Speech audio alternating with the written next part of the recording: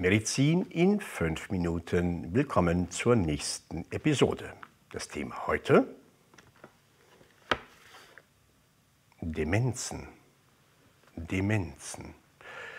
Hm, ich würde vorschlagen, dass wir heute als Einstiegsclip uns zunächst einmal die allgemeinen Grundlagen der Demenzen anschauen, sozusagen die allgemeinen Prinzipien hier zunächst einmal kennenlernen und wir sollten dann in späteren Clips nochmal die einzelnen spezifischen Demenzformen uns wirklich separat nochmal anschauen, weil sonst wird das Ganze einfach zu gewaltig. Also allgemeiner Einstieg in die Demenzen. Die Zeit läuft. Wir starten mit der Definition. Demenzen gehen einher mit einem fortschreitenden Abbau von Hirngewebe und einer zunehmenden Störung höherer Hirnfunktionen, sprich kognitiver Leistungen.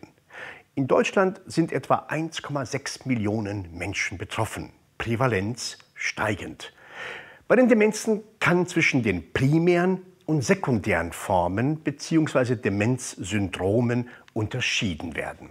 Die primären Formen, die Demenzen im engeren Sinne, beinhalten die neurodegenerativen und vaskulären Demenzen.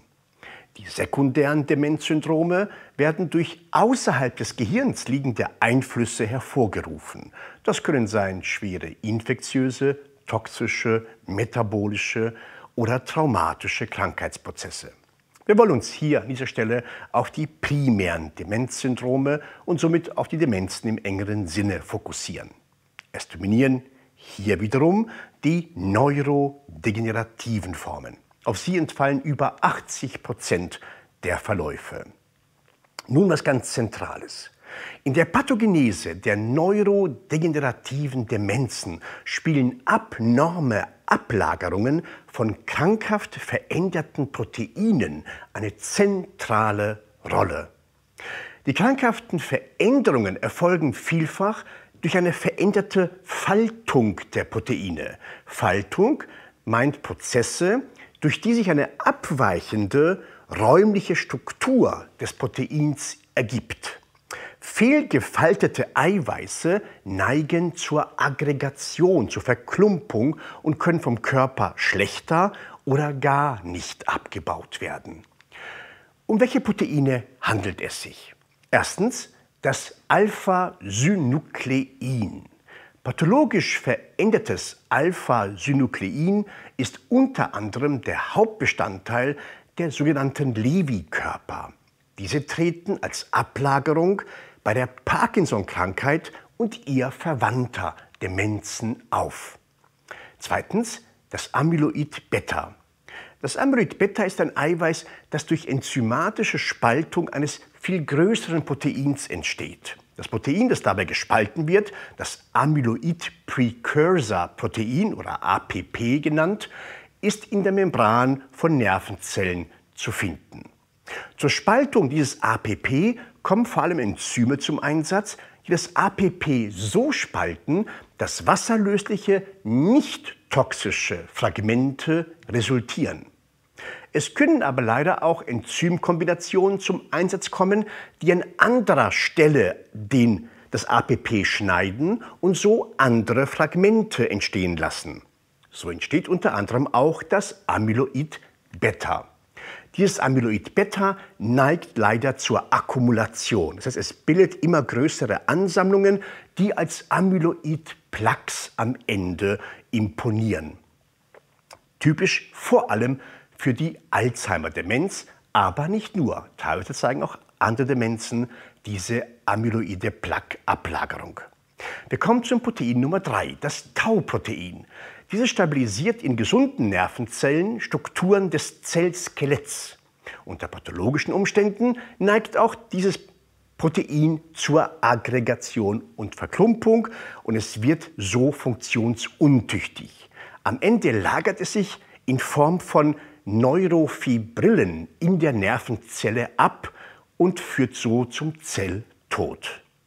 Zu beobachten vor allem bei der Alzheimer-Demenz, aber auch nicht nur. Auch hier gibt es andere Demenzen, die dieses aufzeigen können. Die nächsten beiden Proteine tragen sehr komplizierte Namen, weshalb sie üblicherweise mit der Abkürzung beschrieben werden, FUS und TDP43. In gesunden Zellen gelangen beide Proteine in den Zellkern, wo sie das Ablesen des Erbguts vielfältig steuern und beeinflussen. Im Rahmen der frontotemporalen Demenz, übrigens der Morbus Pick ist der bekannteste Vertreter dieser frontotemporalen Demenz, hier verändern sich diese Proteine, gelangen nicht mehr in den Zellkern und lagern sich im Zytoplasma an, wo sie zellschädigend wirken. Die Prionen, mit denen geht es weiter. Proteine, die in ihrer krankhaften Variante ebenfalls eine veränderte Faltung aufweisen.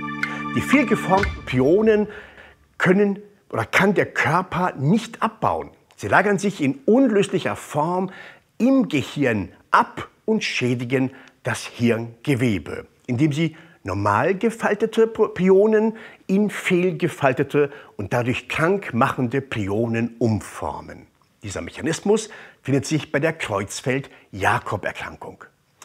Wir beenden die Übersicht mit dem Huntingtin, einem Protein, das sich im Rahmen der Chorea Huntington pathologisch verändert zeigt. Zum Ende sei erwähnt, dass zunehmend auch Entzündungsprozesse, somit die Neuroinflammation als wichtiges Element der Pathogenese von Demenzen zeigen oder als solche angesehen werden. Typischerweise beginnen die pathologischen Veränderungen auf zellulärer Ebene schon Jahre bis Jahrzehnte bevor die ersten klinischen Symptome auftreten. In dieser sogenannten Prodromalphase findet eine erfolgreiche Kompensation ausgefallener Systeme durch funktionell verwandte Einheiten statt. Alles Wichtige ist gesagt. Wo wir gerade über Demenzen sprechen, bitte nicht vergessen, hier gibt es noch weitere Themen. Hier können Sie uns abonnieren und werden informiert, wenn wir wieder neue Clips gemacht haben. Und unten im Text weitere Infos zu unseren Online-Vorlesungen.